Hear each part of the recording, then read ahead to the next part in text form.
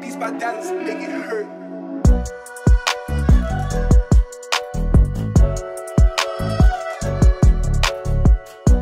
MacBook Air has always been Apple's entry-level laptop that will suit anyone with light tasks like browsing internet, making presentations, a Netflix machine, but it changed with Apple decisions to put a similar iPad-based chip called M1, and they are so confident to even remove the fan from the MacBook Air.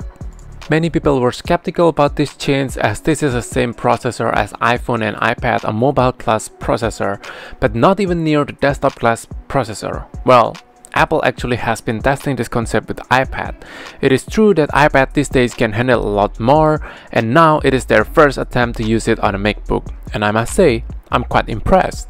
And since they are using their mobile class processor, one feature that they are bringing is instant on. The moment that you open your MacBook, it wakes up and ready to use.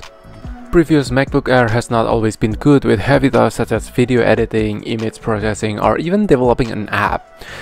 But now, even with the lack of fan, M1 MacBook Air has been able to do this for me.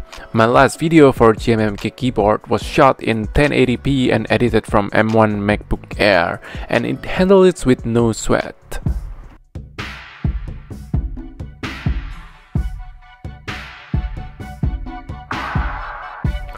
This M1 MacBook Air is so impressive that I even decided to install Steam and try to install Dota 2 and it managed to handle Dota 2 with high graphic at lobby idle at 120 FPS and then when I tried to use this Invoker hero which has many skills and tried to spam as many skills as I can with this hero on average it managed to be around 80 FPS so it's a quite good performance for gaming. And to remind you again this game is not even optimized for M1 chip.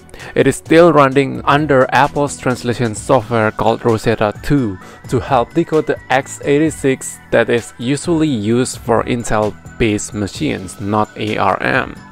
And as you can see here, I put all the highest settings except VSync turned off and it's still running well. Now to remind you again, this is a fanless machine.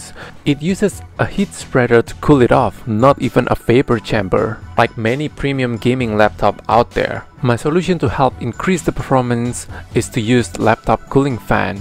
Another great things that Apple have improved on this MacBook Air is no touch bar and the scissor switch keyboard. I really like it when my finger has the muscle memory to hit the perfect key for brightness, music control without having to look at the keyboard, but this is a subjective opinion in my case. Apple has also changed the keyboard layout a little bit. Now we have a spotlight button, dictations and do not disturb. I don't find myself using the spotlight search button a lot because I'm so used to with the command space combinations, but the dictations and do not disturb is a great addition. Also the globe key for the language switch is now moved with the FN button. Now let's hear the sound test for this MacBook Air keyboard.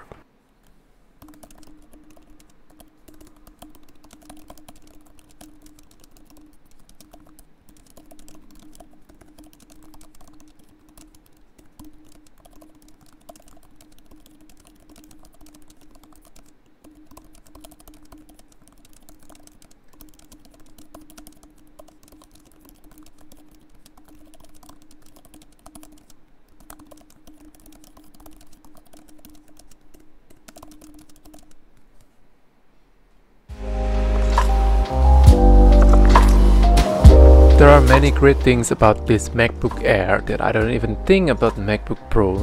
No fan means it always silent and more or less failure in mechanical moving component. No touch bar means lesser money involved if it is broken. Performance is almost similar to MacBook Pro. Sound and microphone quality is top tier. Trackpad is best in class. But there are downsides too. M1 MacBook Air only have two USB 4 port with no eGPU support for now.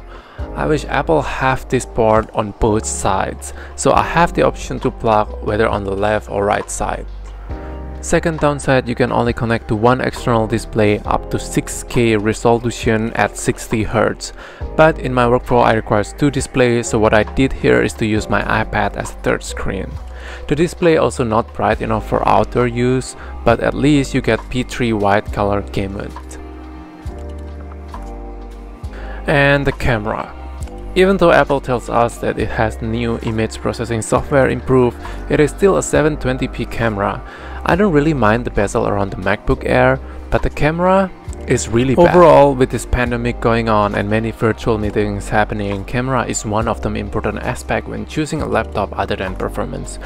I will definitely recommend people to choose M1 MacBook Air over the MacBook Pro because there is no significant performance upgrades and you could use the money to upgrade RAM or memory since it is now part of the chips itself and non-upgradable by users. And here is my recommendations. If you really want to upgrade your laptop, let's wait for the 14-inch MacBook Pro with M1X chips. As with the current lineup, it doesn't make sense to choose MacBook Pro over the MacBook Air. And thank you guys for watching. If you really want to see this kind of video and review again, let me know down in the comment below and don't forget to subscribe and like this video.